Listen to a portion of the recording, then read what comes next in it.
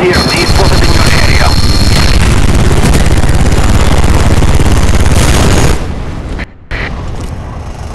are winning the fight. Do not stop.